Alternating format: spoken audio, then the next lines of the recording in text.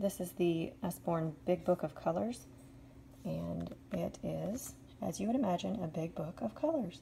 It gives you some great information, and it has really sturdy pages. It's kind of like that um, heavy cardstock paper. It's a little bit thinner than your board book, so it's real, real sturdy. Great for a library or for a classroom or homeschooling. Uh, gives you great information, your, your basic primary colors, secondary colors. You have a color wheel, and then it goes through different colors.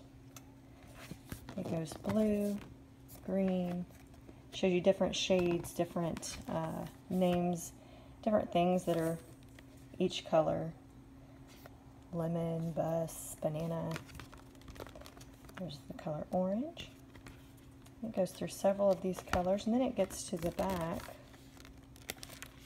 um, where it has the page of mixing colors, and you can see that blue and yellow make green, yellow and red make orange, red and purple make magenta, and so on. I thought that was pretty cool.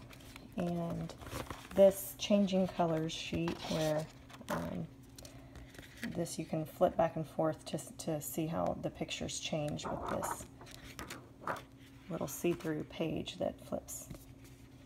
So that is all the colors from the Big Book of Colors.